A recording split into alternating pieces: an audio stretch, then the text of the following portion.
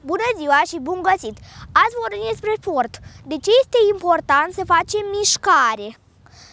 Um, studiile au arătat că, cei, că oamenii care fac sport sunt mai sănătoși, sunt mai relaxați și au un somn mai liniștit. Și noi în tabăra de televiziune, pe, pe lângă dicție și actorie, facem și sport. Alergăm, jucăm fotbal, jucăm badminton sau uneori doar facem exerciții pentru mușchi.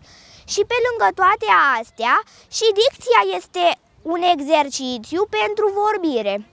Eu vă recomand și vouă să faceți sport de 3 ori pe săptămână ca să fiți în formă. Eu sunt Amelia, numai bine pe curând!